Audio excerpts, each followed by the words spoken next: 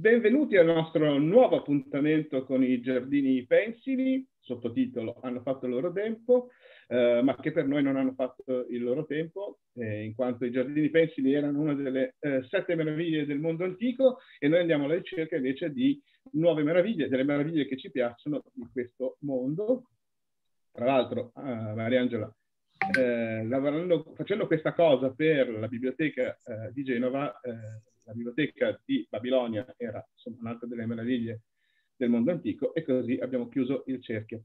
La meraviglia di oggi è, eh, ed è con noi Andrea Satta. Eh, voglio rispolverare una presentazione che ho fatto di Andrea con dei bambini, quando abbiamo fatto appunto la presentazione del suo ultimo libro Pise e Pata alla scuola Descalzi.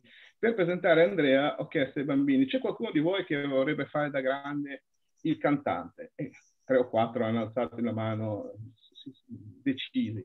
Qualcuno di voi vorrebbe fare il medico? E anche lì altri tre o quattro hanno alzato la mano. Qualcuno di voi vorrebbe fare lo scrittore? E di nuovo altri oppure gli stessi. Qualcuno di voi vorrebbe fare il ciclista? Qualcuno di voi vorrebbe fare l'esperto di cime, di montagne? Ad esempio quando eh, a rischia tutto c'era montagne da 30, montagne da 50. Ecco. E poi ho detto, difficilmente qualcuno riesce a fare tutte queste cose contemporaneamente. E poi ho detto, sì, sì, è vero, non è vero, è vero, e non è vero, perché Andrea Stata è questo.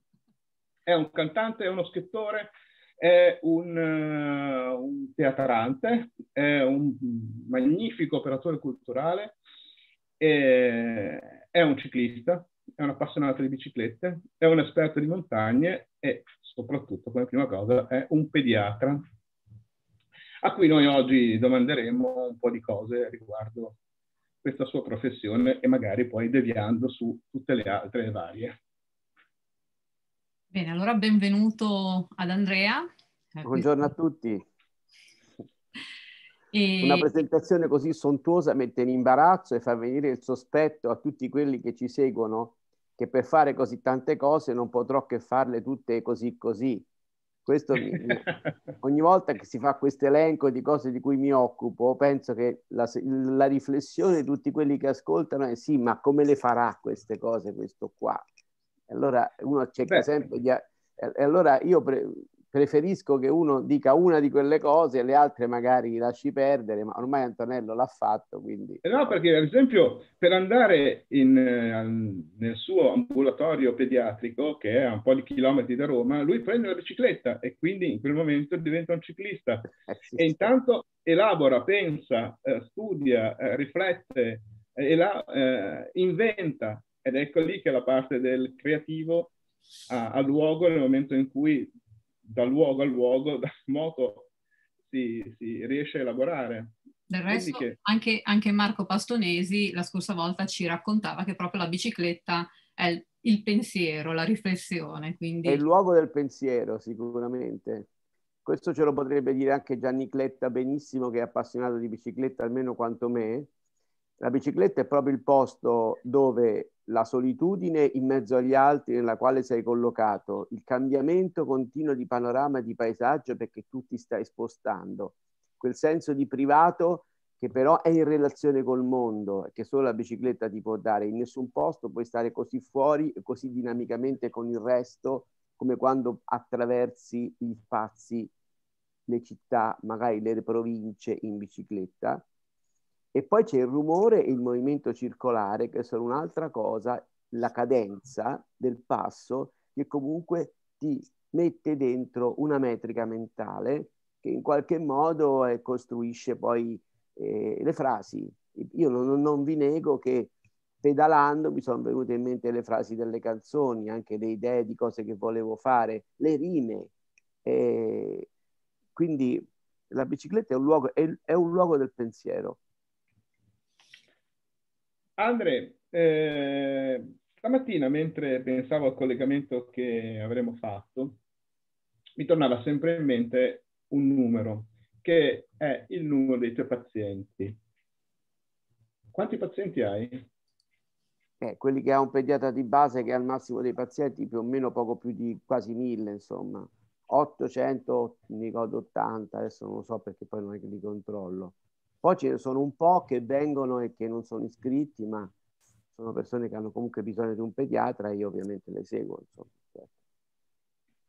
Perché a me questo, questo numero qua, no, pensavo fossero soltanto che 800, eh, eh, mi sembra sempre un numero mirabolante. Cioè, quando penso a, a a una persona che deve occuparsi comunque della, della salute di 800 per piccoli, eh, piccoli, poi non so qual è la media di età. Qual è la media di età, Andre? Bah, la pediatria va da, da 0 a 6 anni obbligatoriamente dal pediatra, da 6 a 14 facoltativamente dal pediatra o dal tuo medico di medicina generale.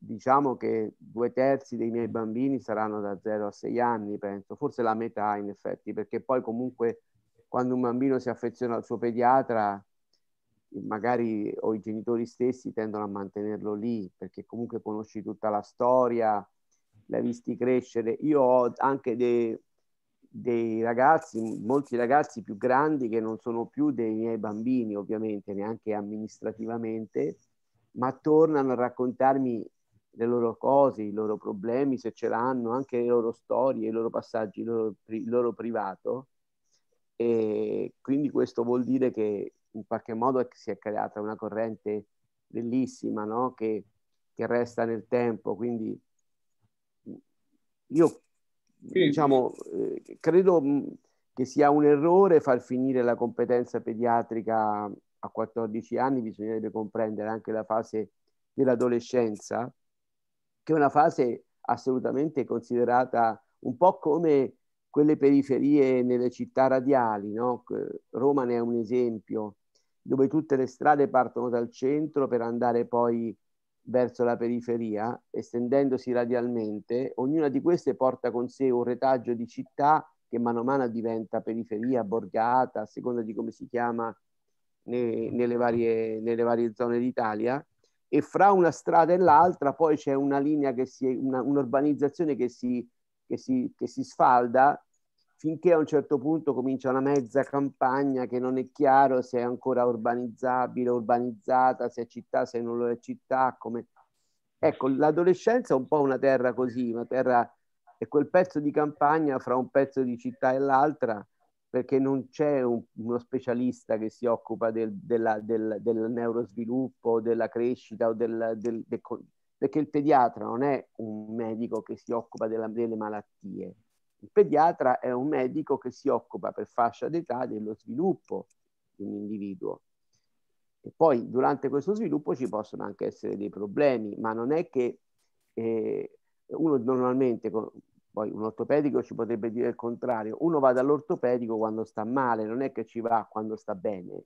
E invece uno dal pediatra ci va anche quando sta bene, perché dal pediatra vai a affrontare il tuo percorso di crescita, a condividere i, i, progressi, se tutte le cose stanno andando come devono andare, si fa questo tipo di lavoro. Quindi eh, è un lavoro di, di, condivisione anche della vita, non soltanto del, del, del malessere. Per questo c'è la possibilità di, di, essere più in empatia e più in relazione, perché è proprio il ruolo che è differente. Io credo che gli adolescenti avrebbero bisogno di questo tipo di assistenza, perché altrimenti una, un adolescente eh, quando si ammala, grazie a Dio, probabilmente mai, cioè, quindi rischia di non essere mai visto dal, dal, suo medico, perché se la logica è che io ti vedo quando stai male, l'adolescente, salvo grandi problemi, non si ammala, eh, perché non è un, un, un anziano con mille acciacchi, quindi rischia di non avere mai un vero contatto con qualcuno col quale condividere e invece quello sta ancora, un individuo che sta ancora crescendo, quindi sta ancora trasformandosi e, e non è un adulto, ma non è anche un bambino. E ci vorrebbe una figura professionale che accompagna la crescita di questa fascia d'età. In Italia purtroppo non c'è, non c'è da nessuna parte, perché in Italia c'è la pediatria di base che non c'è da nessuna parte, o quasi da nessuna parte però purtroppo in Italia, pur essendoci questa ricchissima cosa che è la pediatria di base, non c'è, non è compresa, cioè la, la fascia adolescenziale non è considerata, è considerata come la fascia adulta. E questo... è un riflettevo, riflettevo, su questo in base alla, al, all'età media della tua utenza in questo senso. Quindi tu hai, dicevi, il 50% 0-6 anni e il 50% 6-14 con qualche eh, eccezione oltre. Quindi attraversi tutta una fase diversa di eh, bambini che hanno a che fare in questo momento con l'esperienza del Covid, quindi quelli che sono in età di scuola materna, quelli che sono in età di scuola primaria e in età di scuola secondaria. Quali sono le differenze che hai notato nei loro comportamenti in questo, in questo periodo? Eh, in che ambito? Comportamenti in che ambito? Stavo pensando soprattutto alle loro reazioni a livello psicologico, ad esempio. Ma relativamente alla frequentazione della scuola? Sì. Perché allora è chiaro che un soggetto non può stare bene se non vede le persone cui vuole bene. È chiaro che i bambini soffrono di non poter vedere i nonni, soffrono di non poter vedere gli amici, soffrono di non poter fare le feste, soffrono di non poter fare i compiti il pomeriggio con gli altri bambini, perché è ovvio che se in classe devi stare con la mascherina tutto il giorno, non sarà logico che il pomeriggio ti vedi con cinque amici per fare i compiti, anche se sono i stessi compagni di classe, perché sennò a quel punto tanto valeva che ti levavi la mascherina in classe. Quindi è chiaro che questa vita che stiamo facendo non è una vita normale, non è una vita naturale, non è una vita che ci fa bene. È sicuro che non, che non va bene questa situazione. È pur vero che l'unica soluzione che abbiamo in questo momento per arginare questo problema drammatico è che, che, che ci ritroviamo addosso, sulle cui cause non, non mi voglio soffermare perché tanto è inutile. Invece voglio dire che, eh, che, che i, il problema che vedo negli adolescenti, per quelli che incrocio dai 12, 13, 14 anni, anche 15, qualcuno ancora lo vedo, è che dal mio punto di vista sono più... Me ne parlava l'altro giorno Stefano Amati di Rifornimento in Volo, un adolescentologo che stimo molto, mi diceva che anche secondo lui, eh, mi confermava la mia sensazione, che gli adolescenti sono più attenti e più consapevoli dei giovani adulti in questo momento, pur soffrendo ovviamente molto. E io penso che mentre i bambini in qualche modo hanno la scuola, fino alle, alla fine delle medie, gli adolescenti non hanno, non, hanno, non hanno la scuola dove andare e questo penso che per loro sia un problema enorme enorme. E devo dire anche, se uno mi chiedesse, ma tu cosa faresti? Riapriresti le scuole secondarie o no, posto che non sono nessuno per deciderlo? Mi verrebbe in mente di dire questo. Allora, il momento è drammatico e non bisogna nasconderselo. Però, se il progetto è fare una clausura come quella che si è fatta a marzo-aprile, allora senz'altro ok, gli adolescenti non vanno a scuola, le secondarie restano chiuse. Cioè le, le, scuole, sì, le scuole secondarie da 14 anni in poi restano chiuse. Ma se abbiamo questo di clausura qua, che uno può andare al mercato a comprare le stoffe, le mele, oppure al negozio di bricolage a comprare il legno, eccetera, o prendere gli autobus, non capisco perché gli adolescenti non possano, cioè, cioè tanto gli adolescenti non è che poi starebbero a casa, perché se l'alternativa è che gli adolescenti stanno a casa, allora ok, ma se gli adolescenti invece che stare a scuola si vedono tutti insieme a, da qualche parte, eh, che cosa fanno gli adolescenti quando non vanno a scuola? Stanno a casa? Non penso. Cioè, come fanno a stare a casa? Chi ce li tiene a casa gli adolescenti? Nessuno. Quindi eh, quando sei in zona gialla e gli adolescenti stanno a casa eh, e gli adolescenti non vanno a scuola, non staranno a casa, è ovvio si vedranno con gli altri. Cioè, allora sarebbe meglio che andassero a scuola, così almeno vivrebbero, oltre che l'importanza della scuola, anche un contesto controllato. Avrebbero la mascherina, sarebbero, eh, su, gli verrebbe suggerito un certo tipo di comportamento, ricordato anche da altri che non sono i genitori, e mezza giornata sarebbe organizzata forse in un modo più produttivo, oltre che più certo. Poi se invece l'idea è fare un lockdown come quello della scorsa primavera, allora va bene, allora un altro discorso.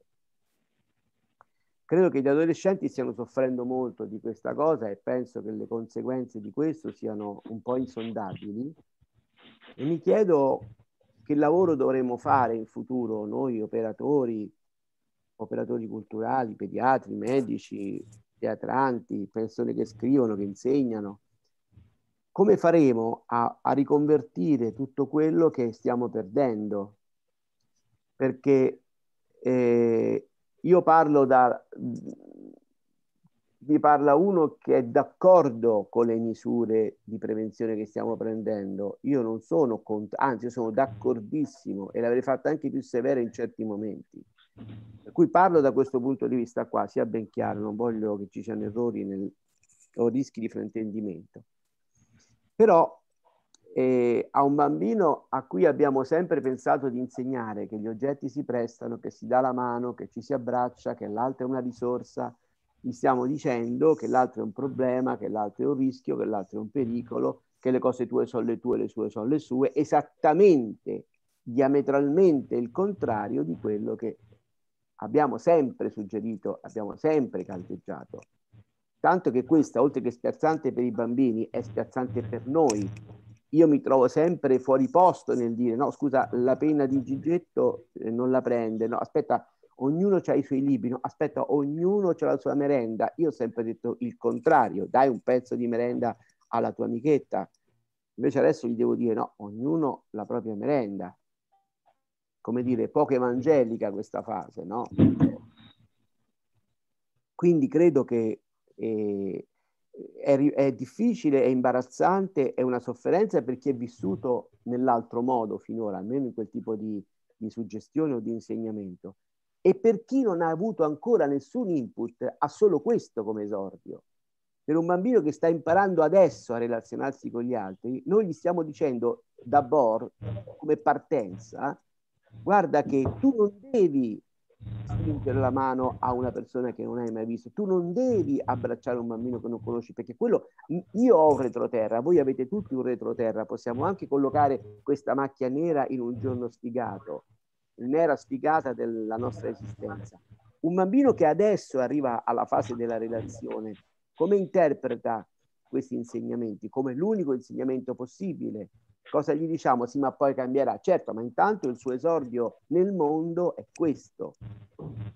Quindi credo che bisognerà fare un lavoro per riconvertire a 180 gradi questa situazione veramente eh, enorme e spero che ci siano risorse, fondi, perché no, figure professionali da mettere in atto per questo, perché poi, eh, cioè, eh, appunto, eh, certe cose, siccome non producono direttamente reddito, vengono, vengono sottovalutate, ma eh, cioè, eh, eh, poi dopo i problemi sono fatti dagli uomini che vivono i disagi. Mariangela? Sì, volevo, volevo chiederti se eh, a tuo avviso, se eh, si sta di un'intenzione da parte, comunque perché visto che è una cosa che interessa non esclusivamente il contesto italiano, ma una, qualcosa che abbraccia tutte le realtà toccate da questo eh, episodio di pandemia, quindi tutto il mondo. E che tu abbia, uh, da un confronto con i tuoi colleghi, emerso un coordinamento sovranazionale, quindi che mette insieme, eh, come dire, eh, le esperienze varie per poter mettere a punto un modo di affrontare sotto questo aspetto oh, di sostegno e anche, tra virgolette, rieducativo, anzi educativo dei, dei ragazzi, dei bambini a, a quelli che sono i valori appunto della condivisione, tutto questo aspetto che dicevi, che effettivamente sarà un aspetto che mancherà a questi ragazzi che si affacceranno alla vita. Ecco. Sì, sì, eh, appunto. Mm. Non posso che ribadire quello che ho detto, cioè eh, credo che bisognerà individuare eh, dei, dei progetti precisi per per, eh, per recuperare e per impostare e per riconvertire questa fase deflagratoria, questa fase esplosiva che, ha, che sta devastando la, capac- la, capacità relazionale perché lo fa nel... Noi stiamo proprio insegnando a fare, a fare le cose in cui non crediamo. siamo proprio dei, dei cattivi maestri, purtroppo necessari, ma siamo dei cattivi maestri consapevoli di esserlo. E tutto quello che abbiamo detto, cioè la casa è una possibilità, la casa è uno spazio aperto, e, ehm, voglio dire, se, se, si avvicina, se vi, si avvicina una persona che se si sente male una persona per strada, quante, oltre alle, alle normali volontà di soccorrere un disperato, Adesso c'è anche il problema che quello potrebbe avere il coronavirus, magari qualcuno lo lascia morire perché ha paura di intervenire, perché intanto perché c'è anche questo, c'è, c'è anche, c'è, come dire, no? la gente, quante volte abbiamo visto sui, nelle immagini, nei telegiornali, ah, la persona indifferente passava senza intervenire, adesso è un po' più probabile che questo accada, eh? è un po' più probabile, perché uno ha anche questo, la gente ha anche questo tipo di, di, preoccupazione. È una società che si sta chiudendo nel difendere se stessa perché il, pro, perché il pericolo oggettivamente esiste.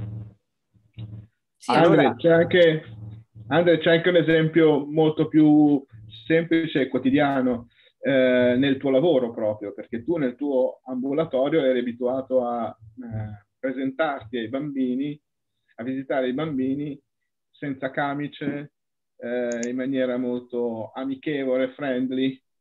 Adesso invece sei costretto a... Sono costretto a spostarmi di stanza e, e, hanno... e vi, vi, raggiungo subito. Aspetta un attimo. Eh. Tanto facciamo un tour nella casa di Andrea. Esatto, sì. Sono qua. Sono costretto a mettermi, a mettermi il camice e a mettermi la mascherina, a mettermi la, la visiera, cioè a, a, a, come dire, ad adottare tutte quelle precauzioni, che, que, que, tutte quelle divise, tutti quei distintivi che io ho cercato di abolire. Eh, eh, però, eh, per esempio, io vi devo dire che da marzo a oggi non sono sicuro di conoscere eh, bene i volti delle mamme che sono venute da me. Marzo è dieci mesi fa. Allora, ci sono dei bambini che ormai hanno praticamente un anno di cui io forse non ho mai veramente visto il volto della mamma e il volto de- del papà.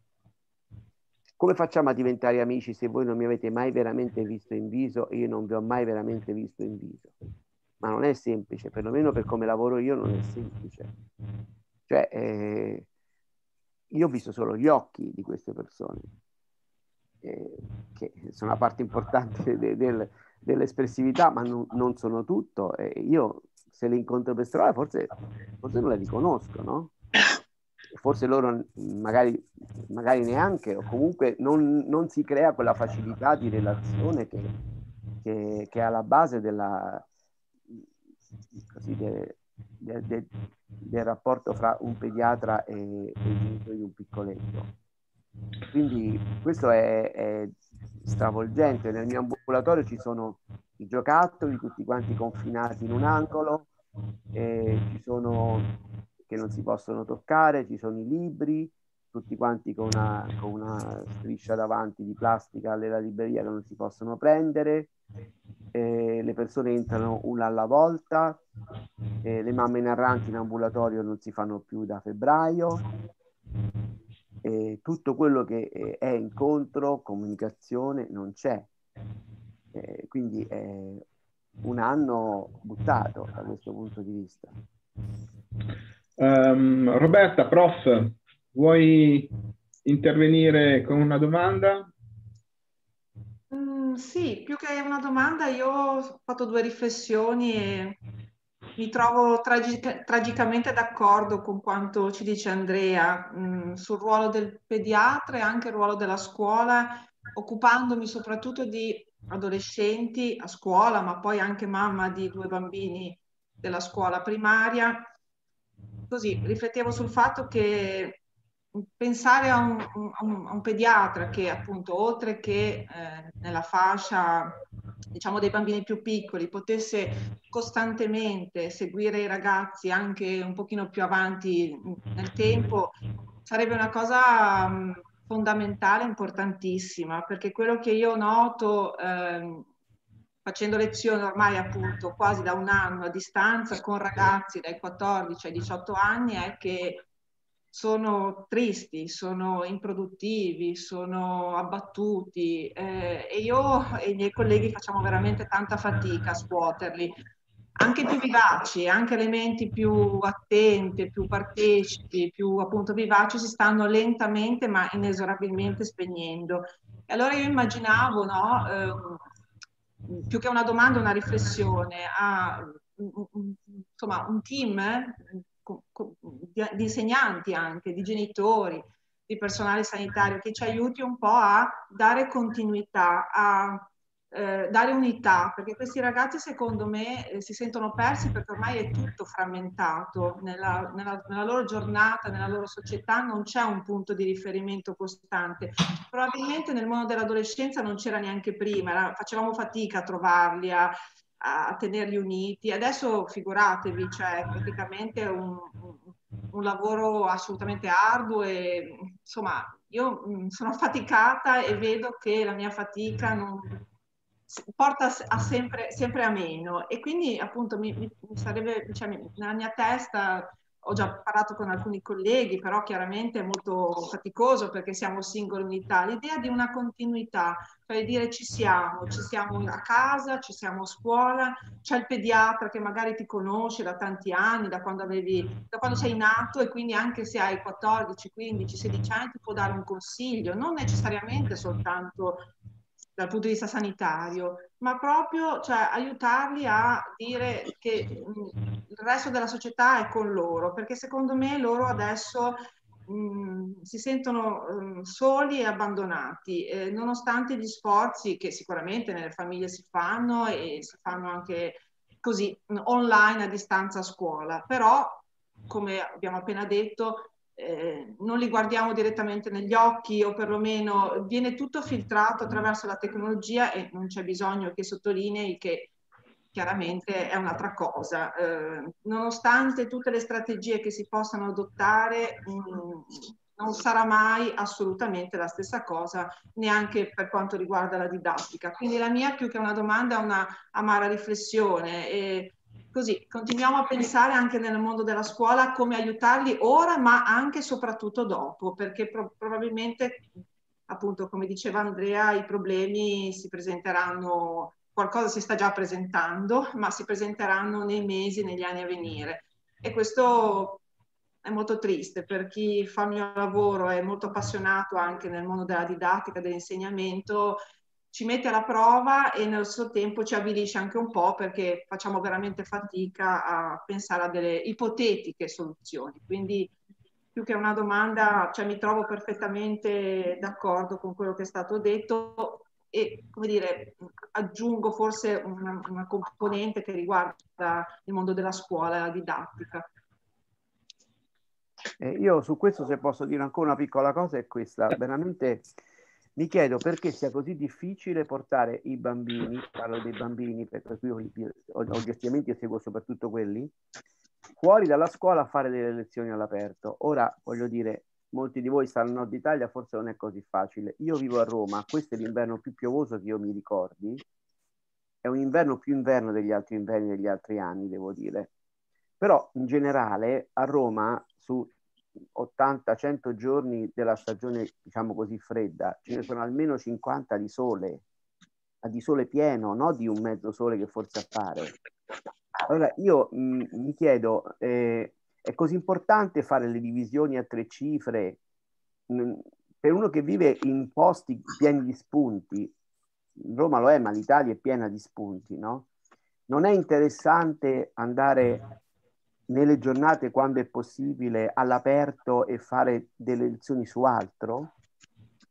Non è, non è, non è possibile fare questo, è così, è così difficile. La, la, scuola è così impantanata in, indecisioni, autorizzazioni, genitori che protestano perché, responsabilità civili, la preside che si attiene al regolamento, quell'altro che si attiene al programma ministeriale, è tutto così, oddio, così soffocante che in una situazione di emergenza che riscrive tutto, riscrive tutto.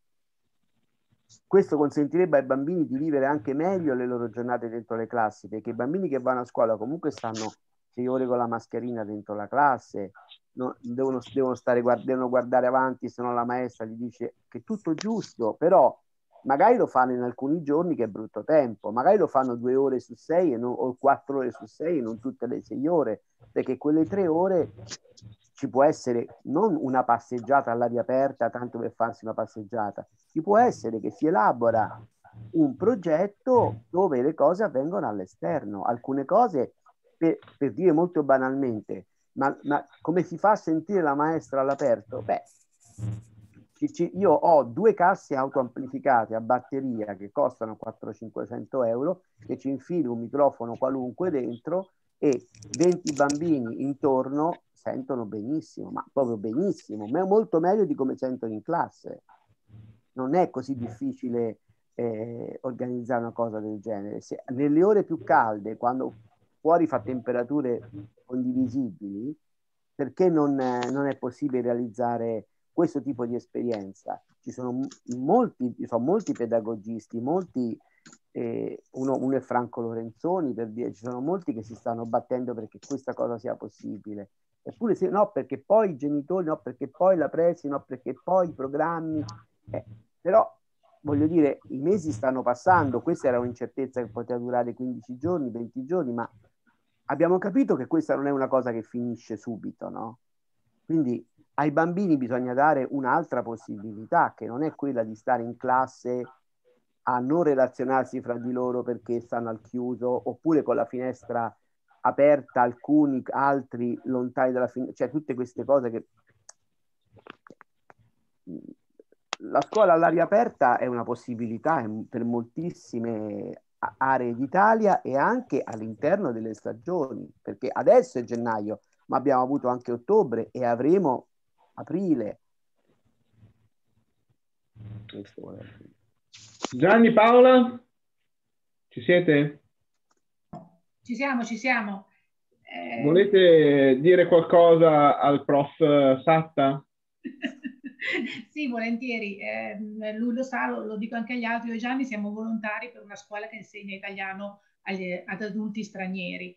Eh, chiaramente operando da più di 30 anni ormai abbiamo adottato anche le famiglie di questi adulti stranieri, per cui spesso arrivano anche i bambini eh, che oltre alla scuola si appoggiano a noi sia per fare i compiti, sia per uh, imparare un po' meglio l'italiano, ma anche per stare in un contesto un pochino più amichevole e meno formale di quello che può essere la scuola, perché accanto a insegnanti francamente meravigliosi che fanno tantissimo, ci sono anche insegnanti che lasciano un po' a desiderare in fatto di accoglienza. Um, e quello che manca soprattutto a questi bambini in questo momento, io ho parlato anche con associazioni amiche che operano tanto con i bambini, eh, con i bambini stranieri, è proprio la socialità, perché il bambino straniero va a scuola, ma poi eh, tornando a casa ha meno possibilità perché magari non ha parenti, non ha cugini, per cui resta chiuso all'interno della, della, propria casa tutte le attività che noi facevamo, giochi, le gite, le, le, passeggiate per conoscere anche il territorio, tutta questa parte viene a mancare ovviamente. E questo secondo me influirà soprattutto nel futuro perché l'integrazione di questi bimbi sarà sempre più difficile, perché un conto è eh, andare con la scuola di Babele a vedere, eh, non so, li abbiamo portati lungo l'Olona eh, a vedere come, come era fatto una volta Legnano, come era fatto una volta le, le antiche fabbriche, come funzionava, eh, che magari per un bambino può non essere il massimo, però in verità è importante perché conoscono il territorio in cui vivono. Tutta questa parte ormai manca e mancherà per molto molto tempo e credo che sia una, una grossissima perdita purtroppo. Sulla scuola io sposo assolutamente le considerazioni di Andrea, a parte il clima che abbiamo noi, ma comunque molti insegnanti durante le stagioni belle vanno in giardino a fare lezione, ma anche insegnare le divisioni cifre, cioè non, è un problema di, di, di spazio. Eh, ci sono tanti altri modi per insegnare senza bisogno di essere all'interno di una classe. Chiaro, gennaio e febbraio da noi francamente è abbastanza difficile. però si può fare. Secondo me manca proprio forse un pochino di, di, immaginazione o, o, di qualcosa che vada al di là del star seduti in classe. Non so se Gianni vuoi dire. Ecco. Sì, sì, sicuramente tutto, tutto vero in termini di, di, di, insegnamento, lo stare fuori. Io quando, quando ancora andavo all'università eh, lavoravo per il WWF e loro, io poi ho partecipato solo come, come insegnante, se vogliamo, il progetto Scuola e Ambiente, che era la prima volta in cui qualcuno si occupava di far conoscere ai ragazzi la natura intorno, ma andando a frequentarla di persona. No? Fu un progetto veramente, veramente grandioso che poi per fortuna oggi è diventato anche qualcosa di molto più vero e concreto e praticato in maniera un po' più estesa, ma all'epoca il WWF, soprattutto il WWF Lombardo, fu veramente all'avanguardia. E il, il successo era, era, era, strepitoso, nel senso che se, se eri bravo, noi eravamo anche andati a lezione da, da, mi ricordo benissimo uno che lo, che lo, faceva da anni in Svizzera, perché ovviamente in Svizzera erano molto più avanti di noi su questo tema, che raccontava a noi insegnanti come ci si doveva approcciare per far vedere la natura ai ragazzi e, e ovviamente aveva dei trucchetti, se vogliamo, che erano veramente spettacolari, no? nel senso non è che prendo, cammino in mezzo al parco, dice questo è il Quercus le cui foglie sono plurilobate, cioè, ne, ne tieni uno no? attento, se invece glielo racconti bene, facendogli vedere tutto quello che ci può essere veramente intorno, soprattutto quello che l'intorno, come l'intorno vede te, vede te perché nel momento in cui entri in un bosco c'è tutto un mondo che ti guarda, non sei tu che guardi, che guardi il, il, bosco. Questo sicuramente oggi non si può più fare perché qui sono tutte perdite, no? non ce n'è. Aggiungo un'ultima cosa che mi veniva in mente perché mi sono seduto qua e sono, ho la mia faccia che sembra una delle maschere di nostro figlio.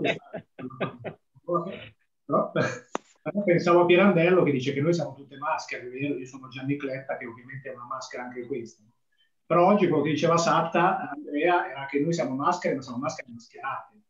Quindi far passare ovviamente chi siamo. Lui non, ha, non conosce le mamme che vengono da lui da più di un anno è proprio perché oltre ad essere una maschera già noi di, di, di per sé normalmente, figurati ancora di più se aggiungiamo la mascherina a coprirci tutta la faccia.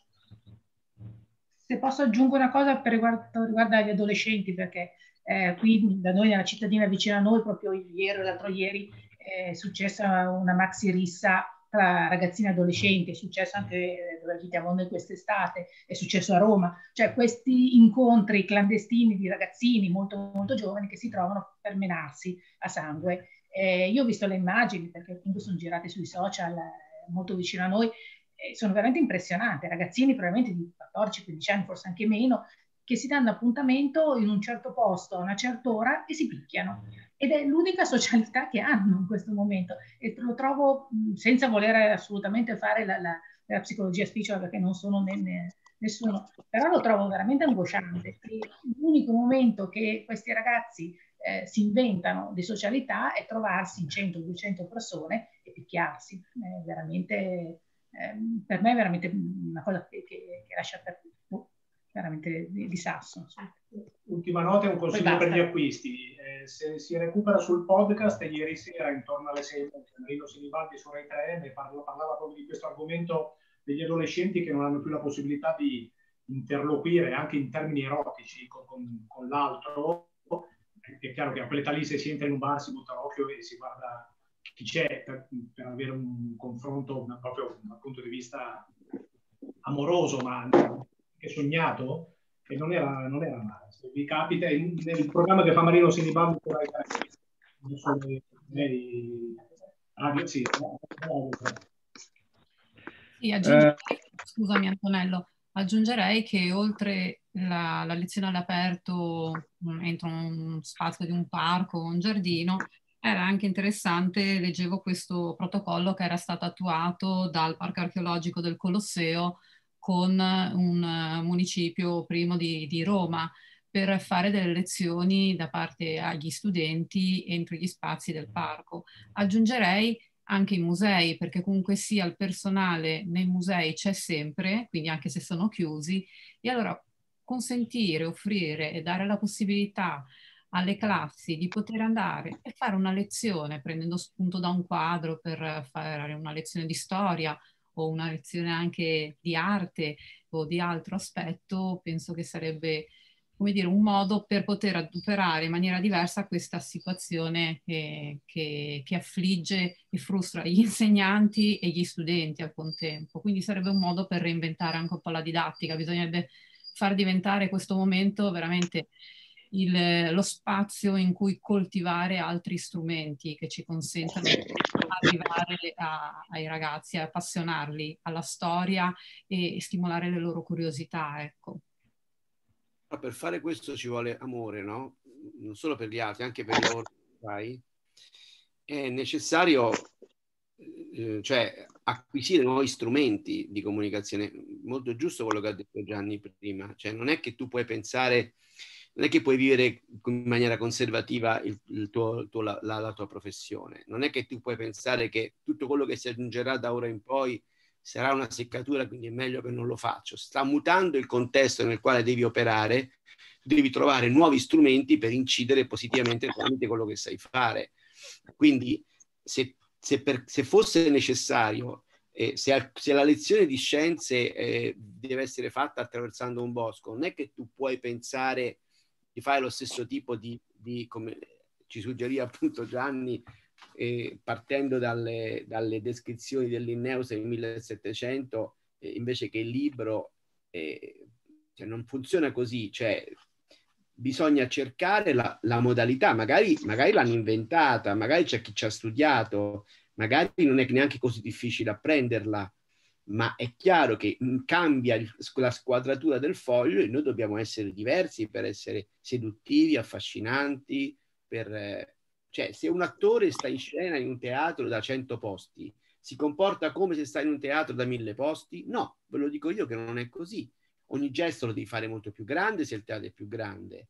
Se sei in un, se hai davanti quattro spettatori, puoi usare un certo tipo di vocalità. Se hai davanti 800 spettatori, devi usare un altro tipo di vocalità, ma è normale questo. È, è, gli spazi sono diversi, la relazione col pubblico è diversa, il linguaggio sarà diverso, fa parte di una tecnica che se non la si ha in questo momento bisognerebbe lavorare per apprenderla, perché è una, è, ed è una necessità.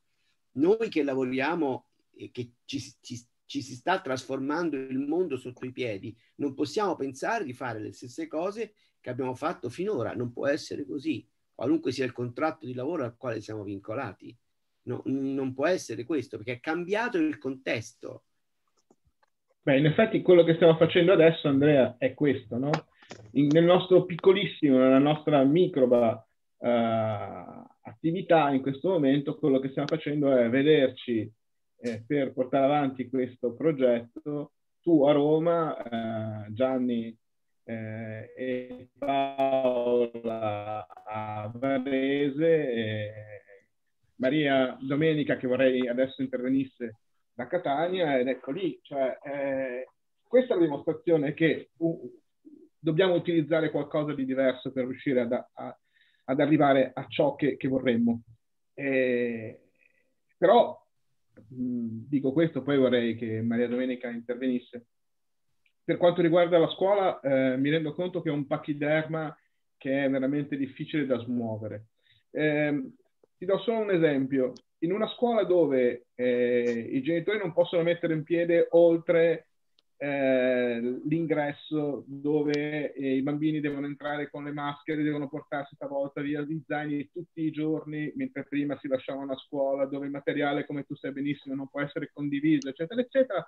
Tutte queste cose qua, quando c'è stata l'elezione dei rappresentanti di classe, si faceva direttamente nella palestra della scuola, palestra della scuola che può essere usata è dovuto intervenire il comitato dei genitori per dire ma eh, mi sembra una follia che dovessimo andare di presenza a votare il rappresentante dei genitori che spesso è lo stesso dell'anno prima, che spesso non vuol fare nessuno, eh, con delle elezioni che sono inutili e non c'è stato niente da fare nonostante questo. Siccome il protocollo dice che bisognava fare così, è stato fatto così perché per smuovere questo bisognava scrivere una, una, una lettera in qualche modo al Dipartimento, dopodiché accettare la risposta e non si poteva fare.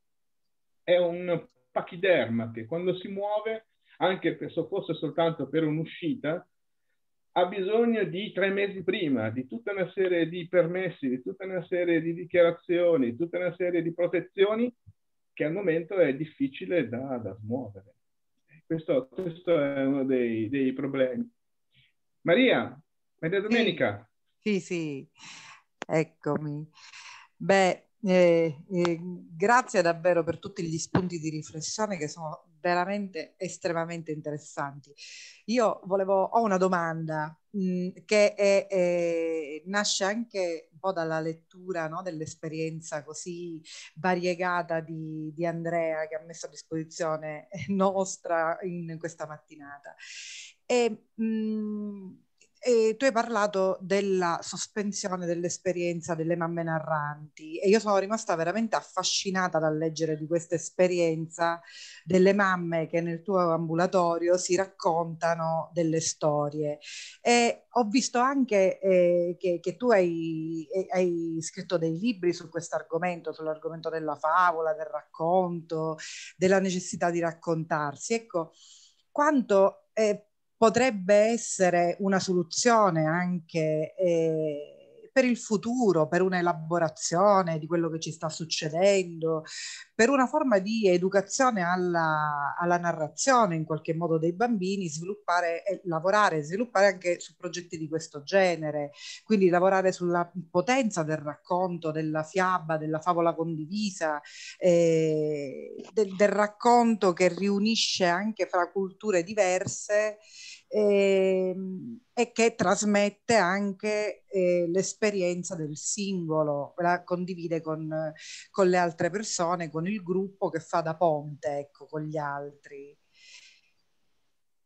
Beh, eh, eh, sì, vedi, l'esperienza si è interrotta dal punto di vista delle riunioni in ambulatorio, ma non si è interrotta almeno per, per i tre mesi fino a luglio, perché abbiamo fatto le favole al telefonino, cioè le mamme che hanno voluto per tre mesi, hanno mandato la loro favola e l'hanno raccontata. Ogni sera c'era una favola diversa e questo ha tenuto in piedi questa, questo gruppo e anche questa idea, no? Quindi ha rilanciato l'idea Mamme Narranti. Poi certamente il sale di questa occasione è, è, è vedersi, cioè se ci si può vedere soltanto su uno schermo Zoom, voi vi rendete conto che a un certo punto quell'empatia non può è inutile inventarsela, in quelle condizioni non, non si può veramente ricostruire.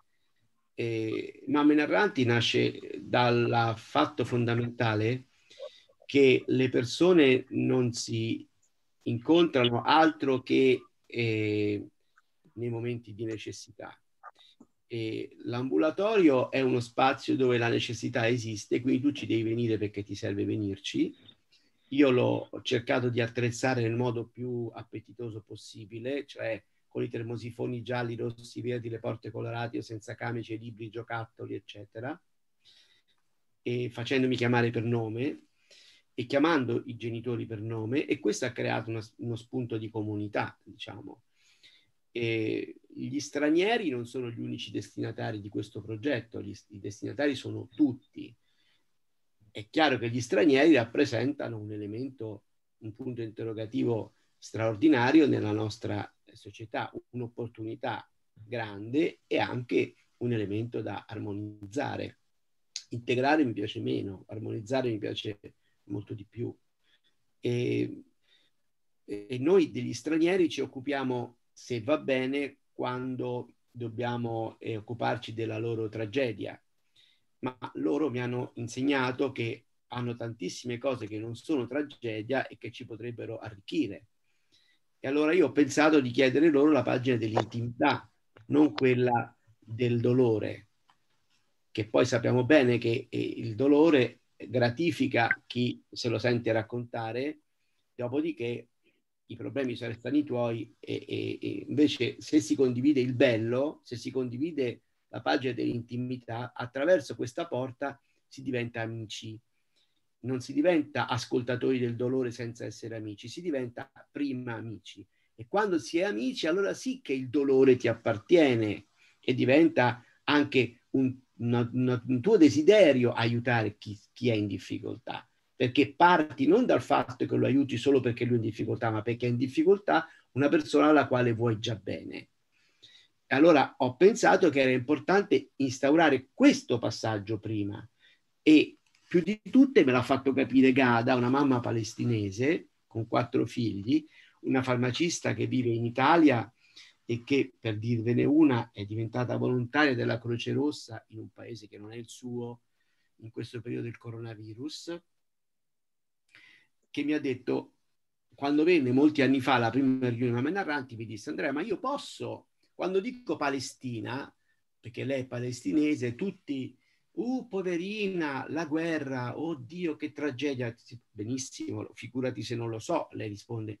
Ma noi abbiamo delle storie straordinarie da raccontare, delle ricette di cucina, delle leggende. Posso fare qualcosa di questo qua invece che parlare di noi poveri palestinesi? Ma certo, Gada, gli ho detto. E questo per me è stato un insegnamento. Cioè, lei, pur venendo da una tragedia della sua terra, lei ha portato la condivisione di un momento bello, di un momento di intimità, di, un, di una cosa che nessun altro avrebbe potuto darci, che noi tutti cerchiamo la felicità. Quindi Gada ha portato della felicità agli altri e gli altri l'hanno interpretata dalla porta della felicità, non dalla porta del dolore. Se Gada ha un problema oggi, ha degli amici che possono ascoltarla e lei stessa si sta distinguendo per ascoltare altri. Beh, direi che questa esperienza delle mamme narranti è, è, un valore veramente importante da recuperare in presenza, si spera, nel momento in cui si risolva più presto questa situazione.